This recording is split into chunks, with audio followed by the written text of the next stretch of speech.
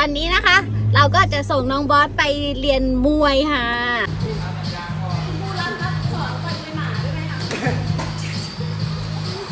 เฮ้ยได้เรียนมาด้านนี้ครับอ๋อ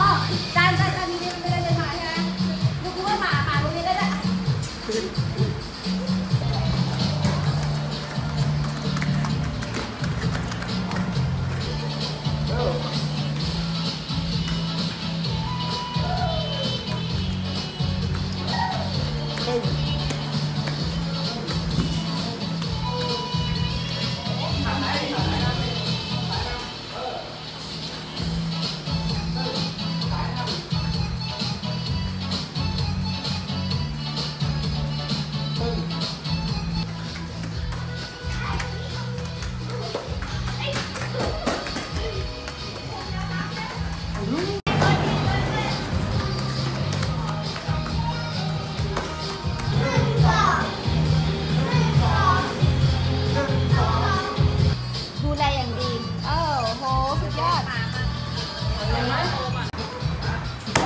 วั